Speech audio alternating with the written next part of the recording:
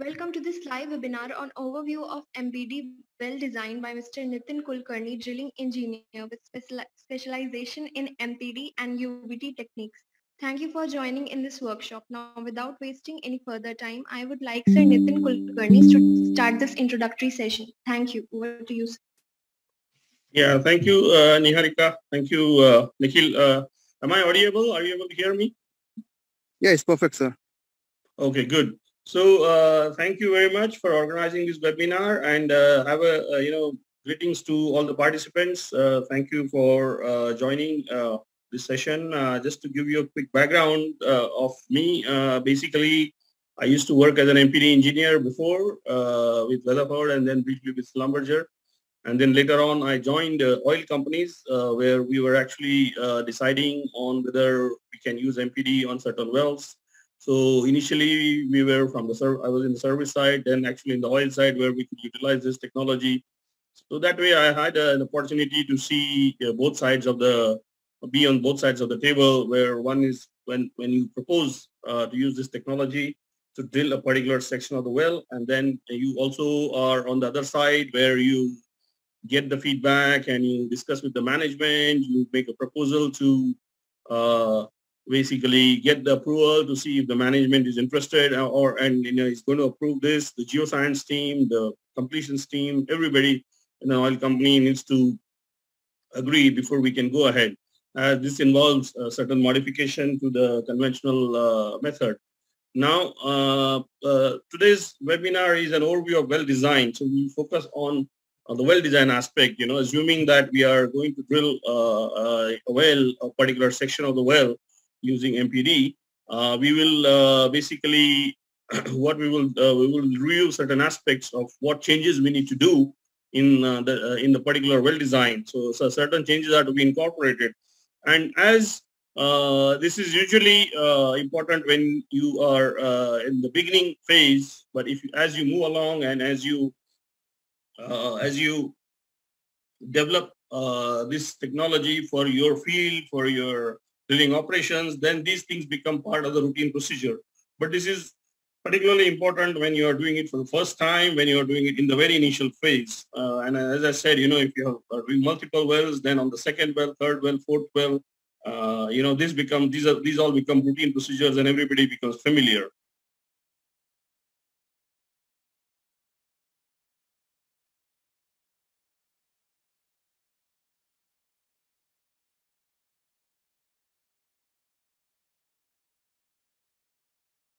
Generic procedures may be available with you, but we need to write specific procedures. We need to get them approved because whatever you are going to do during uh, an MPD operation uh, needs to be uh, in the form of a procedure. And this needs to be approved by your client. You are the client, then you need to approve it. You need to go through it with your service company and ensure that they are quite aligned. Uh, keep in mind that your drilling contractor should be also involved in this at all times because a lot of these procedures will require his uh, involvement and his uh, uh, interface. So uh, procedures can be broadly classified into three different steps, you know. Uh, startup procedures, operational procedures, contingency procedures. So these are the three things. You know. Startup procedures are typically MPD system uh, pressure testing, fingerprinting, encasing test, fingerprinting encasing test, testing all the sensors. MPD will introduce a whole lot of new sensors, downhole and surface sensors. You need to test them to make sure that they're functioning.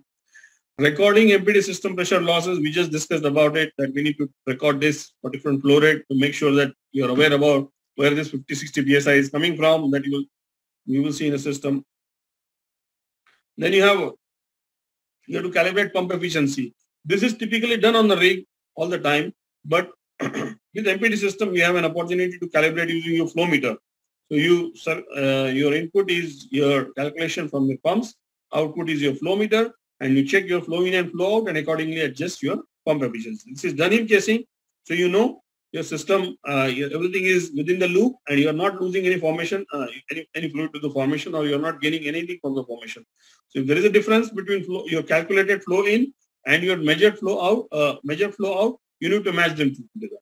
So this is done at the beginning. So uh, that as you go along, if you see any anomaly, if you see any changes, variation in the two, you will uh, you will uh, uh, consider this as a downhole issue. Then you compare your calibration data with your PWD data. PWD is pressure while drilling sensor that uh, is used while uh, drilling. Uh, it basically gives you downhole uh, pressure, bottom hole pressure that we have been talking about all the time. It measures bottom hole pressure and it also calculates ECD downhole with the tool. Now, why you need to calibrate this is because sometimes this tool can fail. Also, sometimes this tool doesn't record data. At that time, you are relying on your calculated pressures that we just discussed, but the calculations in real world are done by your software in real time basis. So the usually you have your bottom hole pressure data, which is measured by a PWD tool, which is like part of the LWD system. But you also have to calibrate your uh, model because then if something goes wrong with your tool or during connections or any other time when you're not circulating, your calibrated model will uh, be the only source for you to give you your bottom pressure data, which as you know, as we've been discussing, is very important to, to maintain and manage. Now, a pipe movement is for the swab and surge pressure, losses and influx. Uh, the system needs to detect this. Uh, that has been the main objective, one of the main objectives of MPD. So, but we need to simulate this by, uh, you know, measuring this.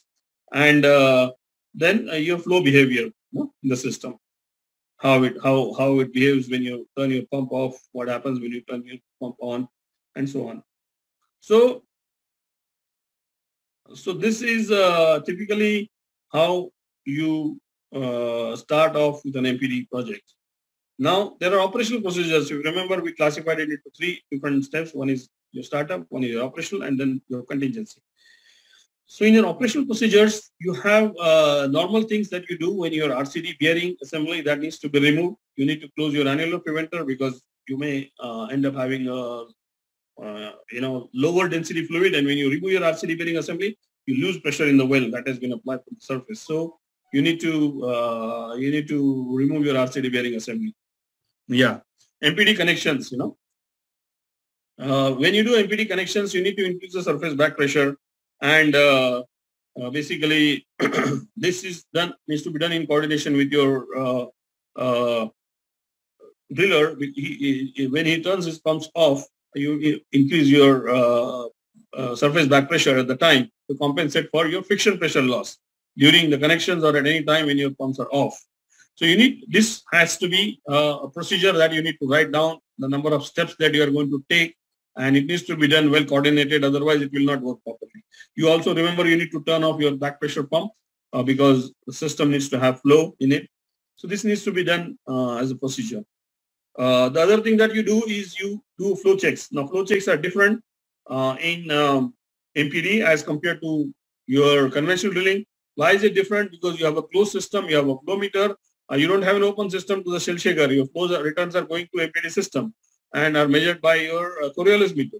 So when you stop the pumps, uh, you, you need to you need to have a procedure to measure flow. You know, you can do dynamic, you can do static. There are multiple ways of doing flow checks, but typically it is different from your conventional flow checks. Most of them who are in drilling operations know the importance of flow check and it is important to know this procedure as it will be, it will vary from uh, how it is uh, in conventional drilling.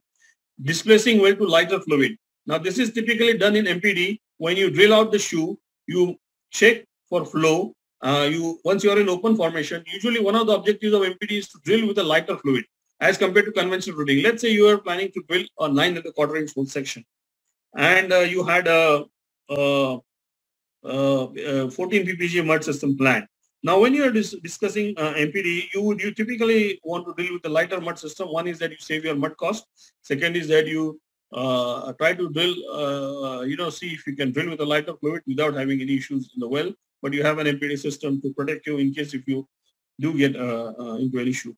So, but you need to displace to a lighter fluid. You don't usually start drilling with a lighter fluid. You drill with a normal uh, fluid and then you displace to the lighter fluid, you know.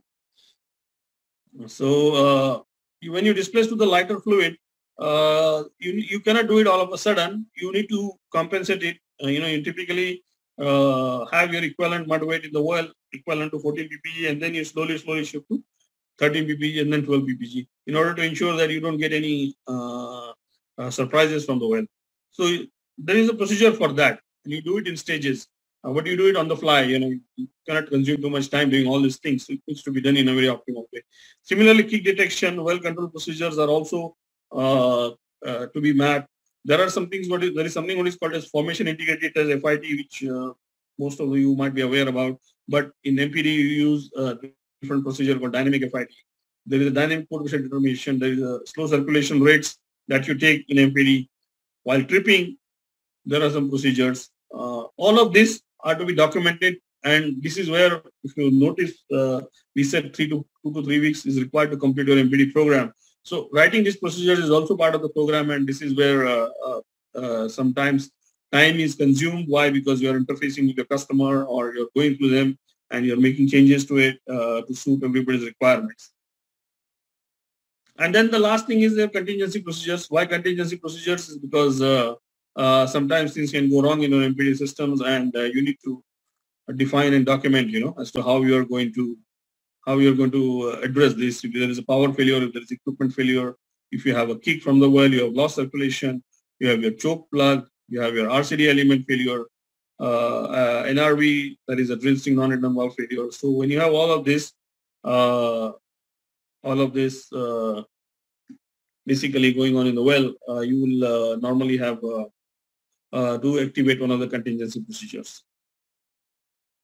Uh, let's talk about uh, dynamic well control, which is the last topic of this today's webinar. Um, uh, basically, definition of MPD is something that we saw in the right in the beginning. So what happens is in conventional drilling, uh, I think this is just a repetition of what we discussed uh, in, in, a, in a diagram, in a, in a form of a diagram in this case.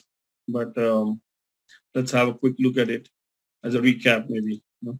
So you have these three components in the MPD that you are managing. And if something goes wrong in the well, you essentially just increase the surface back pressure as it is shown here. If you get an influx or a gain from the well, you increase your surface back pressure provided uh, that it is it does not exceed any of the limits in the well. And this is a typical example of a well control matrix. Uh, you, uh, what happens here is uh, what happens here is you uh, define your limits. Now, this well control matrix is based on uh, your rotation of 200 RPM.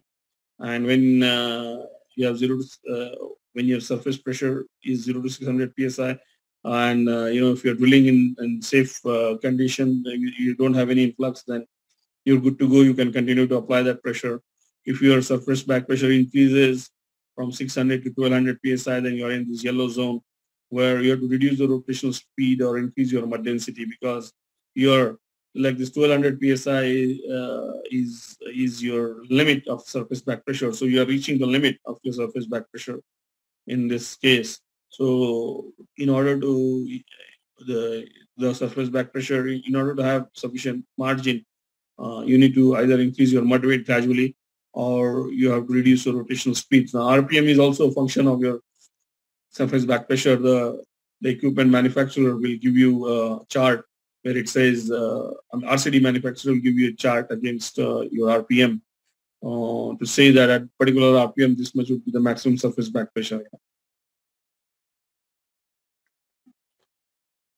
So influx, if you have an influx less than three, bar three barrels, and you continue uh, operations, increase surface back pressure to displace influx and after influx displacement set new equivalent mud weight.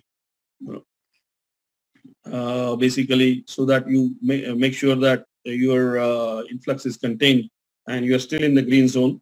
Uh, you, uh, since your influx limit is you have detected it as less than three barrels. What happens if your influx increases to more than three barrels? Now you are in your red zone. That means you need to pick up off bottom uh, MPD will trap pressure, then you set your BOP, and then you activate your well control procedure from the rig.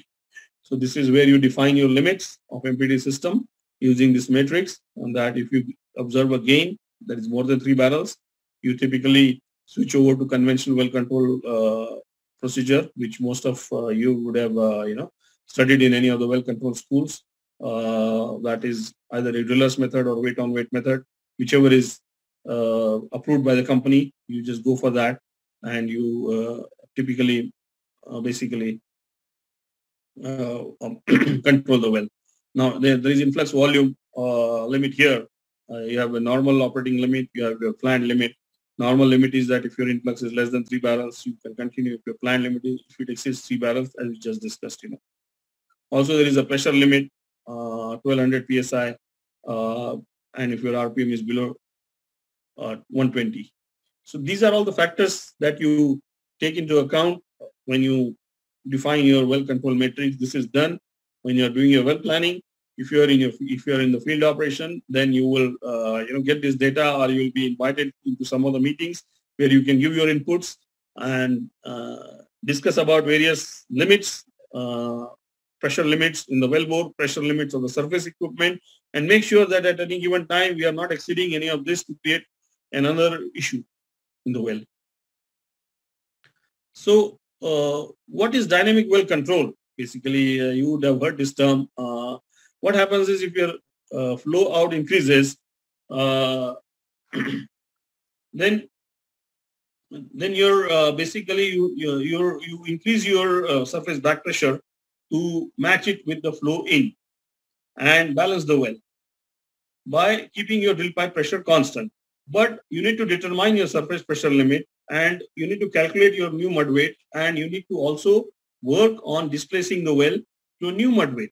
So if you have increased your surface back pressure by 200 or 300 psi uh, in order to balance your flow in and flow out, at the same time you need to work with increasing your mud weight by let's say half ppg or 0.7 ppg or 1 ppg in the well and then accordingly displace the well. But usually this process as you know is time consuming. So uh, but you may still have to work on it and displace the well to new mud, mud weight uh, such that you can go back on your surface back pressure uh, limit and you can have sufficient margin in the well. So while uh, the, the typical kick warning signs are uh, uh, while drilling, while tripping, and while MPD in surface back pressure mode, these are very similar to what you have while conventional drilling. But only thing is that it provides you additional tools such as your flow meter uh, and your cumulative volume, all that. This is a typical decision tree that we have in MPD. Uh, we have one more decision tree, but this is just this is just one decision tree. And in in this case, if you see here, uh, while you are drilling, what happens if you detect an influx that is your flow out is greater than flow in? So you increase uh, influx greater than uh, three barrels or surface back pressure greater than 1200 psi. You know? uh, I want uh, so you shut the well in, and you uh, in this case, if you see, you guys might be familiar with this. Uh, there is hard shut-in and soft shut-in. But in this case, in this matrix, it is clearly defined. It needs to be hard shut-in and circulate influx out to through Riggs poor boy degasser, holding standby pressure constant. As we were just discussing, uh, procedure has already been defined here before we even commence any operation with MPD. And then what happens? You know, uh, what do you do after that? You know, ECD management with surface back pressure, yes, possible. Then you increase your ECD with surface back pressure. No, increase mud weight, uh, enabling uh, drilling to appropriate surface back pressure, uh, you know, to balance the pore pressure. Now, this is how a decision tree is defined in the beginning. This is just an example, but this would be part of your well-designed process where you decide what you're going to do uh, you know, in the event of an influx or a kick. If your influx is smaller, then you can circulate your influx using your MPD system through your Riggs degasser to vent out the gas. There is another uh, evo uh, evolution uh, of this well control matrix, which has been now there are four parameters that have been taken into consideration. There is Excel spreadsheets, there is softwares available, uh, but there is something what is called as influx management envelope. Now, influx management envelope is uh, nothing but a plot that you have just see you see uh, where it basically takes into account in, in initial influx volume and uh, post influx surface pressure. Uh, so primary uh, uh, barrier of influx, you know, what happens is if you are in this yellow zone, you you can circulate your kick using your while keeping your primary barrier. By primary barrier, they are saying that MPD system, your existing mud system in the well. If you if you are in this red zone, then you need to use your secondary barrier. Now, secondary barrier for here entails use of Riggs BOP system, Riggs choke manifold, and uh, the Riggs procedures. that is your driller's method or wait and weight method. So essentially this matrix defines uh, taking into account the initial influx volume. If you see the plot here, uh, you have your on the y-axis initial influx volume and you have your post-influx surface pressure. Now it plots these data uh, uh, and decides whether you can circulate your influx out uh, basically using your MPD system or you need to switch to your Riggs conventional system and it is a it's an envelope and so it will be uh, you know across certain parameters. If you see here there is a green zone on the top so if you are in that green zone that means you're in the safe zone and you can uh, continue. So uh, basically it determines the pressure limit is a function of influx volume, influx intensity, and a combination of uh, these things and decides whether you need to use your secondary well control to control the well. There is another uh, area, uh, basically now in this case, this particular envelope, there is an orange area if you can see where uh, it's a subset of the yellow area and the orange area uh, basically in orange zone and influx can still be safely removed with the primary barrier uh, basically, uh, but we need to modify certain things, you know, uh, to bring, go back to the yellow limit. You know, an example would be the need, need to reduce uh, pump speed if possible, you know, to go back into the yellow zone. So this is one of the one of the scenarios in an influx uh, management envelope. But usually, typically, the software nowadays that are available for designing MPD would incorporate this in it. So you would get a chance to play with it and decide uh, the different parameters. Now here is another uh, uh, what I what I would say. You know, it's a decision matrix where uh, if you de- you decide what how you do and if you would like to apply and referring to the influx management envelope, whether you are in your red zone, orange zone, or yellow zone. Here is another one which I took from uh, one of the SPE papers uh, where they are talking about a weak point based on uh, an influx of 10 barrel, 20 barrel and the equipment limit line you know, or influx volume um, based on and, and post influx uh, surface pressure. And then here you see there is a there is a there's a line which talks about peak intensity and based on the intensity 20 barrels, 10 barrels and the weak line, the equipment limit, you, you decide uh, uh, how your pressures are, uh, you know, how you would basically uh, operationally control a well control situation. if you are in the yellow zone, you can use your MPD system. If you are in the red zone, you need to go to the conventional well control methodology.